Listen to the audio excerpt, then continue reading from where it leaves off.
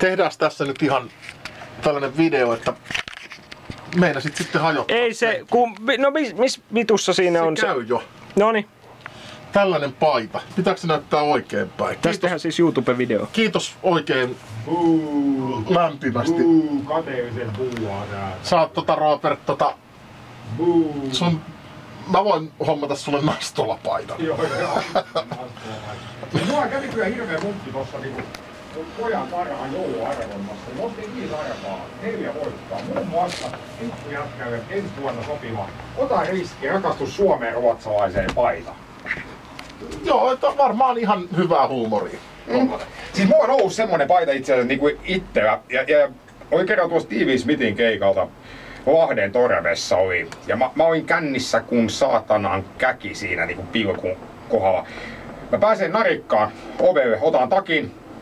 Vastaan tulee niinku yksi kauneimmista mimme, ketä on koskaan tullut mulle puhumaan. sekaisin ja sä muistat joku mi- Joo, eikö se tuli mulle sanoa, se katsoi mun paitaa ja sitten se silitti mun olkapäätä ja sanoi, että mu- mun eksällä oli tommonen samanlainen paita ja se sai mut aina tosi kuumaksi. Mitä sitten? Kerro, tää alkaa Mä, kiinnostaa. mä, mä, mä repesin nauramaan niin, mä, mä, mä istuin polkaani ja nauroin niin kyyneleet valuu niin kuin sitten himmy lähti. Mm. Hei, mites tota, sä olit kuin kuningas? Niin kerros vähän siitä. Siis showpainissa oli tosi pari vuotta, kuinka ensimmäinen. Ei, mut siis tää, tää näin, että sun oli satasella koko ilta.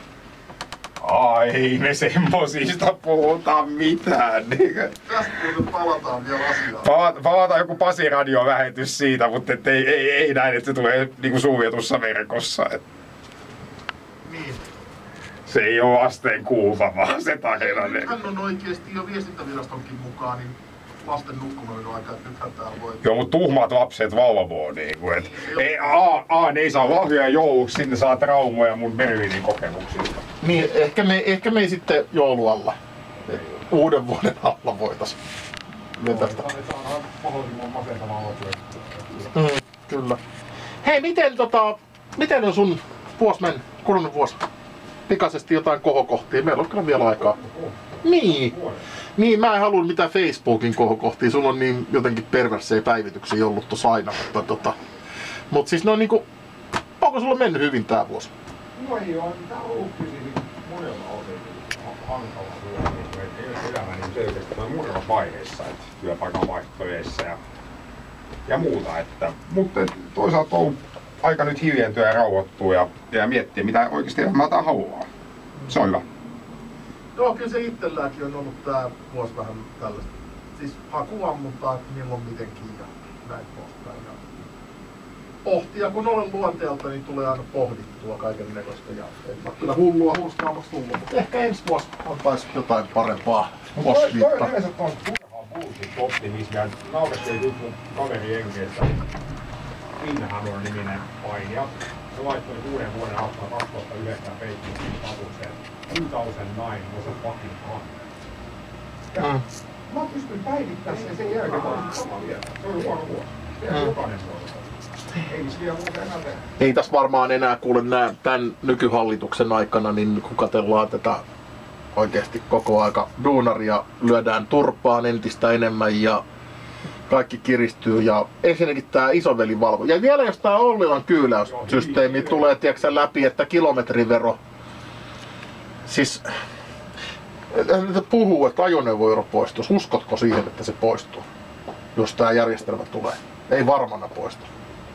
Ei välttämättä, mutta vaikka se poistuu, sanotaan näin, että se voi kyllä poistua, koska se on ero, jonka poistuminen hyödyntää rikkaita enemmän kuin ongelma se voidaan poistaa, koska no, se, nyt aina sanoo niin ne, ne keskituloiset perheet.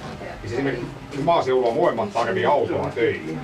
Niin. Ja on niinku työmatka, että kiusaaja kertyy. Niin kyllähän niitä pistetään kakkoseen täyä niinku esityksiä ihan täysillä. Kun niillä ei ole varaa ostaa se uusi iso auto. Se on totta.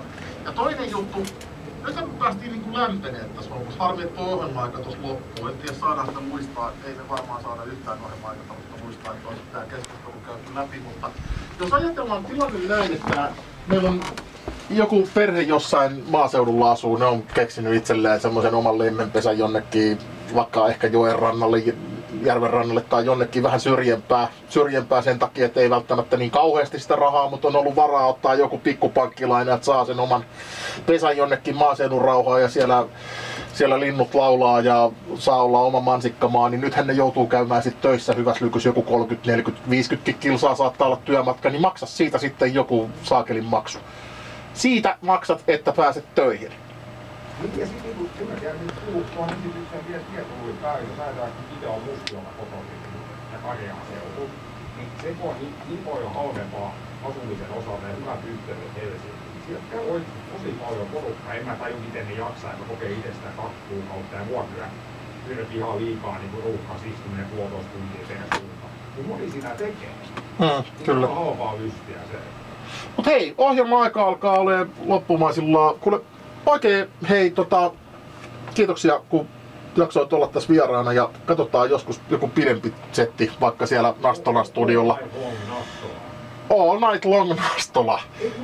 Pitäisi toteuttaa oikeasti se, että vedetään Helsingissä, mennään tekemään tutkimaan Holmström ja Viheraho, pari pulloa viinaa, kat- katoradio korjaa niin mukaan kuvaamaan niitä seikkoja, ja sitten katsotaan kumpi on ekana putkassa, joo. Mä osaan käyttäytyä. Mut hei, kiitoksia sulle ja pidetään tää homma kuule hoitumassa ja tästä jatkuu sitten Lähiradion ja torstai-illan parhaita paloja viime viikolta. Minä olin Pasi Viherraho ja vieraana oli Robert Holst- Holmström. On se vaikea nimi, mutta hei kiitos teille kaikille kuuntelijoille. Palataan taas ensi torstaina näillä näkymin ja Molskis ja Loiskis.